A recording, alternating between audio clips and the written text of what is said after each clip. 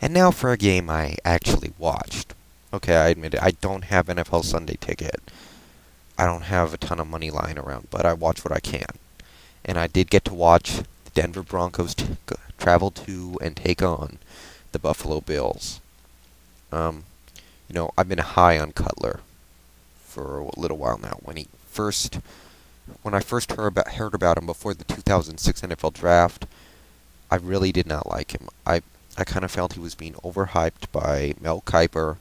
I thought he was, you know, just a product of people feeling sorry for him because he was on a bad team. I thought he was a second rounder, and I didn't get why people were comparing him to Leinart or Young. Then I really got a chance to watch this guy play, and then he went to the Denver Broncos. And then I think to myself, as soon as that went down, this guy is going to be the best quarterback of the big three taken in that draft. And today, he showed flashes of brilliance. He showed some poor decision making. But in the end, he looked like John Elway to you Broncos fans. Um, well, Travis Henry looked nice and sharp, playing his former team, tearing them up to the tune of 140 yards.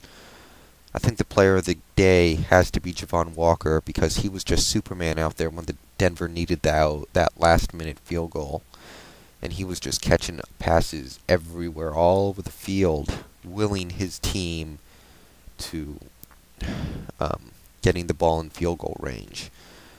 Um, but all around, and you know that starts with Cutler, who had over 300 yards. He had that one touchdown. Yeah, he had a pick. He's still young. You can tell inexperienced. If you watched him play, you could. It's not that hard to see that he's just not quite there, but he will be. He's got a load of talent, and he's in a hell of a system. You know, the ending of this game was so damn exciting. Um, I'm sure you've all heard of it by now, but when Denver was running onto the field with a field goal unit, I thought it was over because after Walker made that last catch at the 25, I was thinking, okay, spike the ball here, no problem. Let's win this game.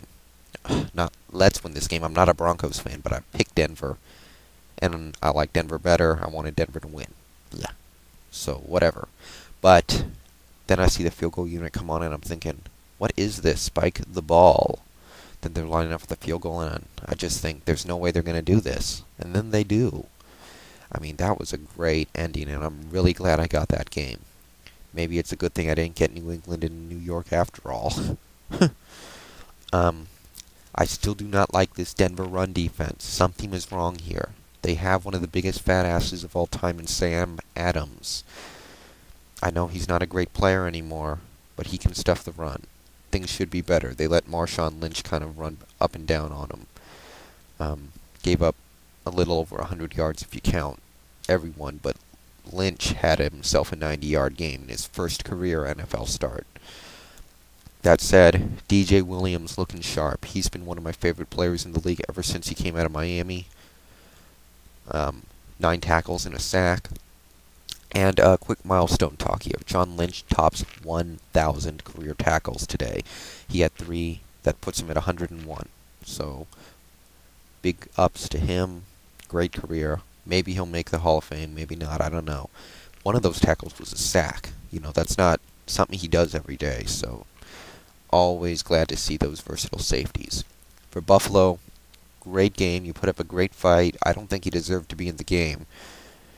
Well, you played tough, so you did deserve to be in the game, but the other side of that is your offense. Your offense was weak you were able to run the ball reasonably well and were still unable to generate points because of Losman failing to generate more than 100 yards of passing of passing offense. Um, you know, Losman just didn't play all that well.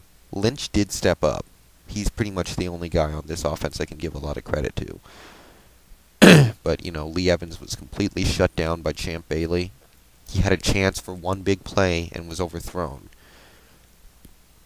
Um, you know, I do feel Buffalo was kind of the benefactor of a young quarterback and a strangely erratic field goal kicker who's usually extremely accurate.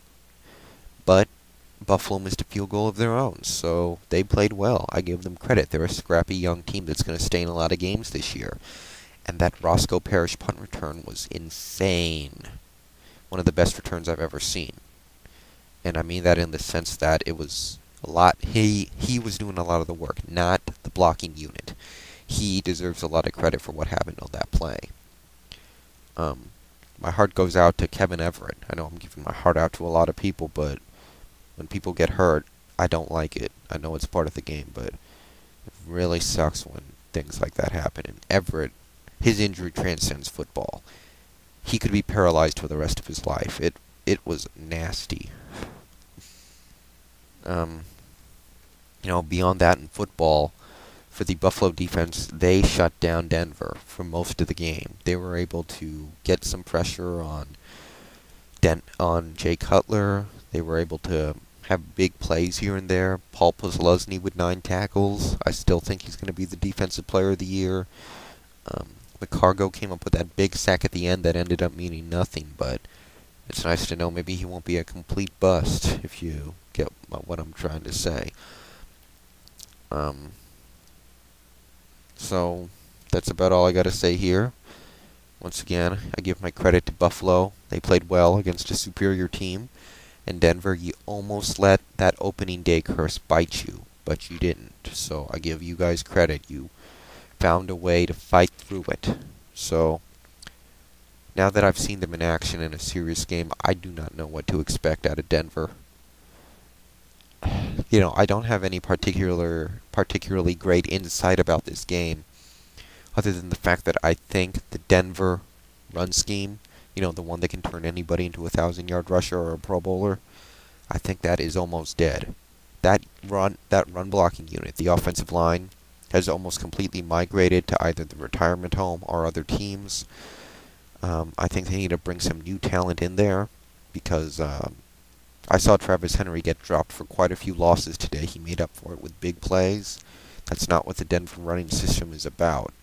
Um, I don't know what it is, but it's not the same system that turned Mike Anderson into a thousand yard rusher. So something's got to change there.